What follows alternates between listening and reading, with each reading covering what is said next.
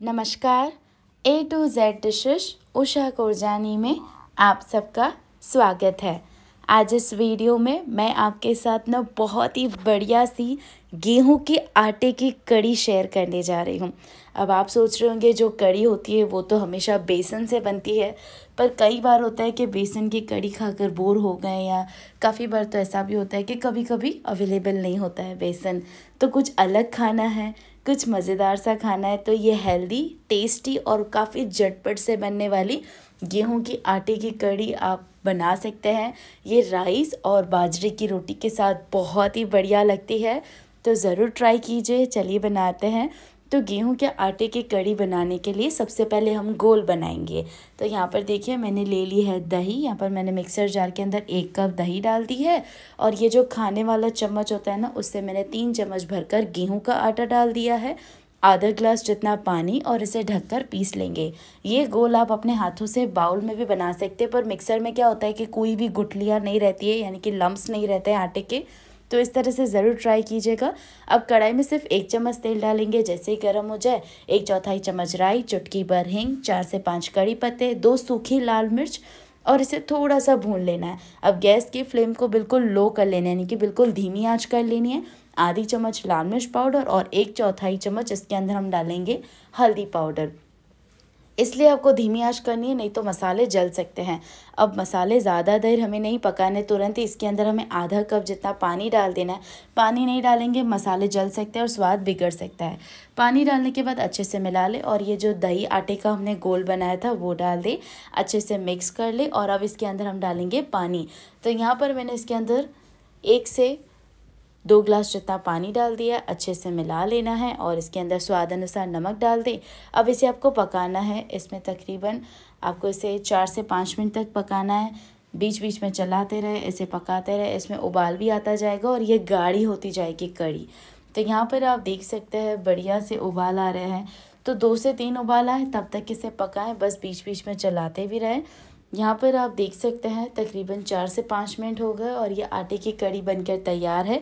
अब आप ये ये जो कड़ी है ना, इस तरह से भी खा सकते हैं या फिर एक तड़का लगा है जो मैं अभी बना रही हूँ। देख सकते हैं, छोटे से तड़का पैन में एक चम्मच घी डाल दे, जैसे ही गर्म हो जाए। चार से पाँच लहसुन की कलियों को बारीक काट कर डालें, दो हरी मिर्ची देख सकते हैं, इन दोनों को थोड़ा सा पकाना है। ताकि देखिए, इसका कलर चेंज हो जाना तो इसके अंदर आपको डाल देनी है आधी छोटी चम्मच लाल मिर्च पाउडर। तुरंत ही गैस को बंद कर लेना और ये तड़के को दे देना है। ये जो तड़का है, इससे स्वाद और भी बढ़ जाएगा, पर आप बिना तड़के वाली भी कड़ी खा सकते हैं राइस के साथ।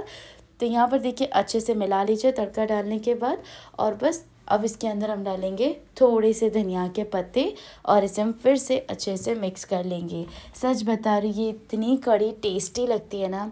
अब इसके साथ राइस भी बना लेते हैं। तो आज मैं आपको एकदम सबसे छोटे चावल आप कैसे खिले खिले बनाएँ, आज इस वीडियो में आपको वही बताऊँगी। तो देखिए, मैंने ये एक कप छोटे चावल ले लिए है। अब आप चाहे तो जो भी इस्तेमाल करते हैं, बड़े चावल या कोई भी चावल इस्तेमाल करते हैं, वो आप ले सकते हैं।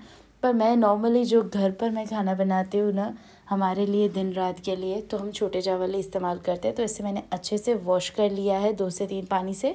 उसके बाद चावल आप पैन में बनाते हैं मेरी तरह या कढ़ाई में, बस आपको गैस को ऑन करके वो बर्तन रख देना है, और इसके अंदर हम डालेंगे दो कप पानी। एक कप चावल में आपको दो कप पानी डालना है। पानी डालने के बाद इसके अंदर मैं डाल रही हूँ स्वाद के अनुसार नमक और आधी छोटी चम्मच घी।